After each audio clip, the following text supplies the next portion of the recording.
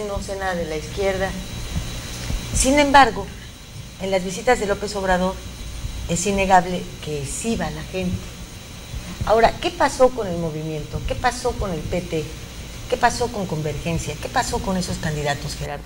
Aquí no pintaron, ¿eh? En la península, pero les dieron una bambalina fatal. Mira, no deja de ser una ironía que los tres candidatos de la coalición PT Convergencia que ganamos en todo el país son los tres de Iztapalapa. Somos los únicos que ganamos de mayoría y somos los únicos donde no se no se llamó a votar por nosotros. O sea, Andrés Manuel sí nos apoyó, pues sí se metió, pero el llamado preciso no se hizo nunca. ¿Eso qué quiere decir? ¿Que había buenos candidatos? Eh, se dieron bueno, yo creo que hicieron varias cosas, ¿no? La primera... El otro tercero es... Jaime Cárdenas. Yo creo que tuvo mucho que ver eh, no solamente los candidatos, sino que el movimiento de López Obrador es un factor vivo que está en muchas partes y, que eh, supieron distinguir o supieron identificar a los candidatos que venían del movimiento. ¿Qué le ha dicho López Obrador a usted sobre su triunfo? Me llamó un día después, el día 6 de julio, para felicitarme, que había sido un triunfo exitoso, triunfo histórico. La gente reconoció el triunfo, reconoció a la gente que ha trabajado entonces Obrador, muy contento, muy contento, me llamó temprano y me dice, felicidades Juanito, ganamos, ganó usted. Y pues ese triunfo es de todos, no más mío, es de Clara Brugada, es del Partido de Trabajo, es el triunfo obradorista. ¿Y por qué no el triunfo del pueblo de Iztapalapa? y del movimiento obradorista. ¿sí? Todos hemos estado luchando ahí, la resistencia civil pacífica hizo mucha presencia, nos apoyaron allá eh, tocando casa por casa, apoyarnos a todos y pues gracias a eso y gracias al el apoyo de Andrés Manuel López Obrador y de Juanito que puso su granito de arena porque también yo me a votar por el Partido del Trabajo. El Partido del Trabajo fue lo que dio el éxito en Iztapalapa. Y de ahí sacamos a los traidores. Yo el pueblo de México, el pueblo de Iztapalapa y el pueblo de México, pues la está gozando, está bien y, está contento por el triunfo. ¿Está usted eh, consciente de que Iztapalapa se convierte en un trampolín para López Obrador?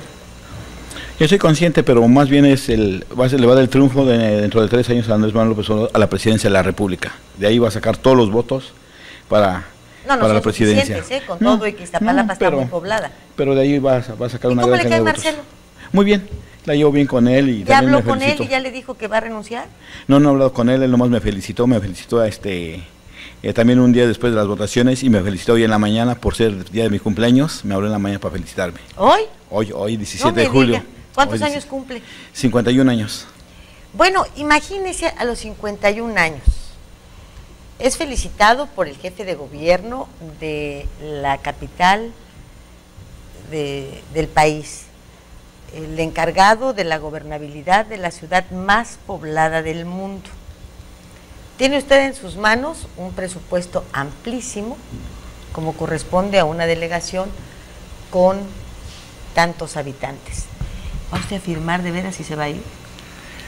¿De veritas? Sí, sí, sí. ¿No se le atora? Es, un compromiso que tengo con Andrés Manuel López Obrador, con el movimiento, con Clara Brugada y con el pueblo de Iztapalapa. Y estoy comprometido. ¿y a poco nada más le va a decir, bueno, ahí está, ahí está, ahí te dejo y yo me voy? No va a ser director de obras, no va a ser director de mercados, no va a ser este eh, eh, secretario o subsecretario, como subdirector de gobierno. Subdelegado de gobierno es, ¿verdad? En No va a ser jefe de la policía, ¿nada? No, Este, nada, nada, en nada. dejaré a Clara Brugada que gobierne solita. Lo va a hacer muy bien y espero que hicieran Andrés Manuel López Obrador, presidente legítimo. Pero usted va a tener entrada sin tocar. Eh, yo digo que sí, ¿no? me, me, permitiré Clara este, y apoyarla, porque no?, en los problemas de Iztapalapa. Pero, ¿Va a llevarle a sus recomendados? No, no, no, recomendadas no, pero eh, espero ¿Va usted asesorar? No, para nada, no para nada, no, yo pienso ¿Le van a pagar una lana mensual? No, para nada, no. ¿Nada? Así de buenote es usted, Juanito. Ah, Ay, fíjese que no se la creo. Bueno, yo espero que... A ver, mire, tiene usted muchas arrugas para tener 51 años. ¿Son de reírse de felicidad por la vida que tiene? O son de plano de burlarse de la gente y se quiere burlar de nosotros. No, no, al contrario, eso me lo agradece el pueblo de Iztapalapa, me lo agradece el pueblo de México, porque es por el movimiento obradorista, estamos luchando por el cambio en, México. ¿Qué estamos viendo? ¿Una camada de gente honesta?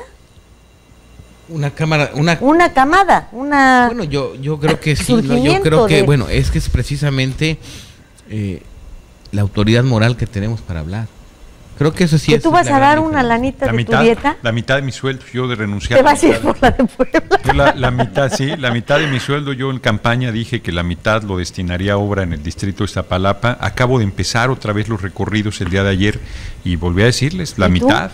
Yo también, yo creo que ¿Qué, la sí es algo, es la mitad. Yo creo que sí es algo que nosotros hemos Oigan, venido. ¿están seguros? Sí. Les voy a dar este corte comercial para que lo piensen. Porque la verdad es que Mira, yo lo dudo. No, Mira, ya está, con todo lo ya que los me caen muy bien Mm. y, y, este, bueno, no les creo todo, pero pero esto sí, la verdad, ¿usted se los cree? Sí, queremos ser